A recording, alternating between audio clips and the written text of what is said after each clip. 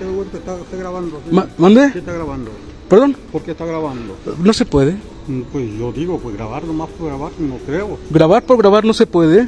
Pues es que es una instalación de la dependencia. Y eso está prohibido. Pues yo digo, ¿no? No, ¿usted dice o dice la ley? No, dice, pues, yo digo, No, es que no es lo que usted diga, es lo como- que la ley diga, Mire. no es lo que...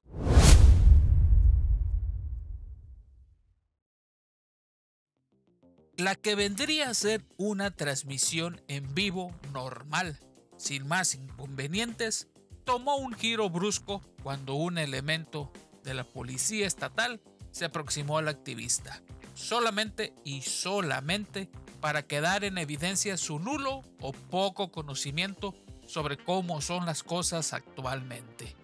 Si bien el gendarme ya se ve de edad avanzada y puede que esté chapado a la antigua, esto no es motivo suficiente para desconocer los derechos que como ciudadanos tenemos. Uno de ellos de poder grabar y documentar en video lo que creamos conveniente, claro, sin infringir la privacidad de alguien más. Para variar, el elemento, el policía, discriminó al activista, diciendo que para él era un maleante por la forma en que estaba vestido.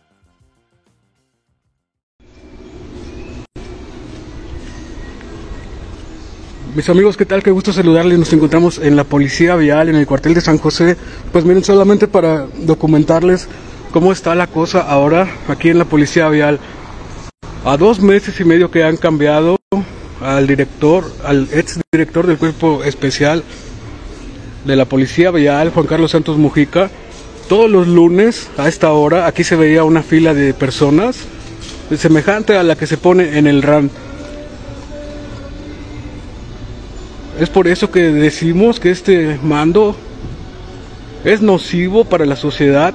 Miren la diferencia ahora que no está al frente de la policía vial. No hay ciudadanos que estén aquí formándose y exigiendo o quejándose, reclamándole a los oficiales que están aquí de guardia por las arbitrariedades.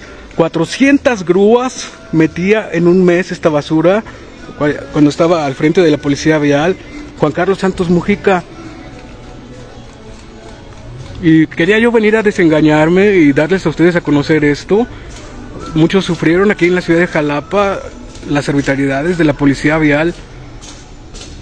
Y los lunes, eh, aquí, aquí se llenaba de personas, todo esto era una fila y reclamos y quejas por las arbitrariedades.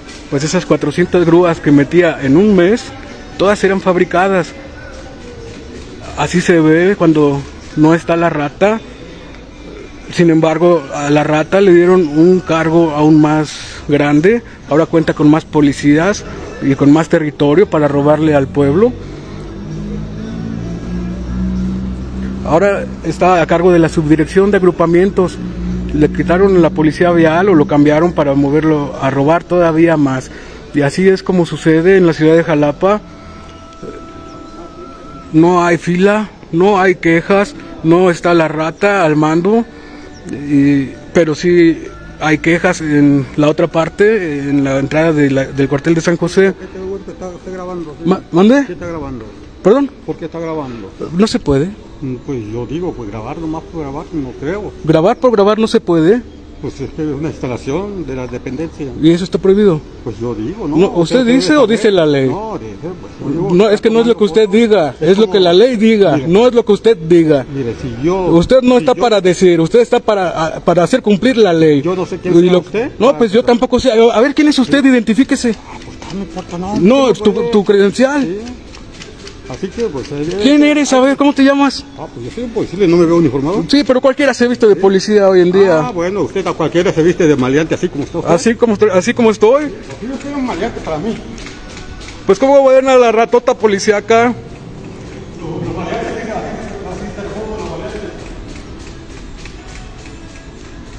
Solo se vienen a exhibir.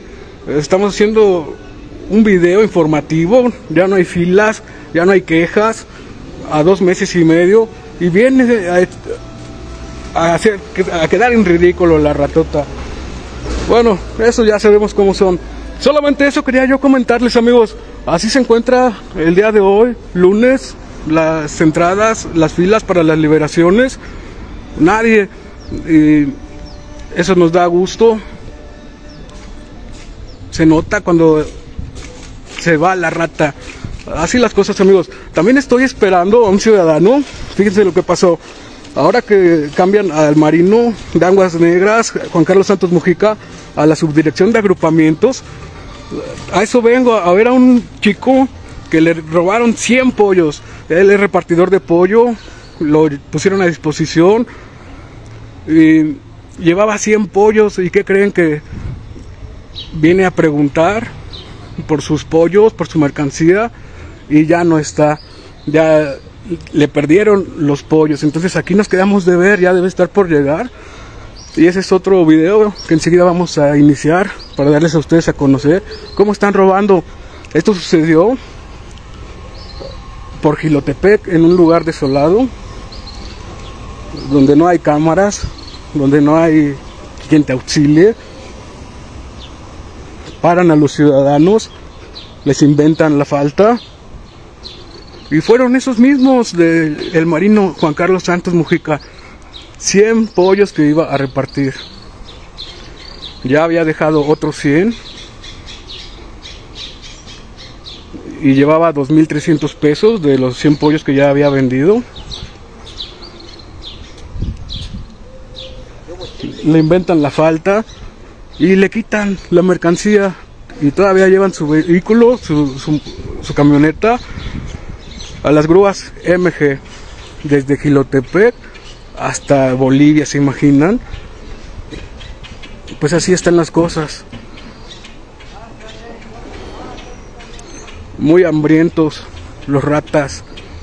Y pues miren, no hay tampoco gente hoy aquí, los lunes, en la entrada de San José.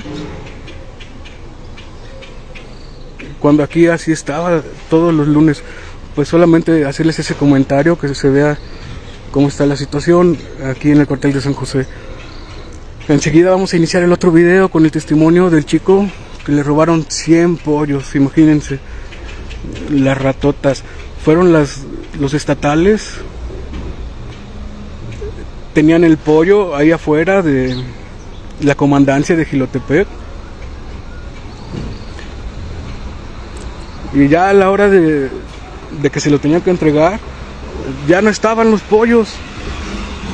¿Se imaginan? Bueno, a la orden amigos.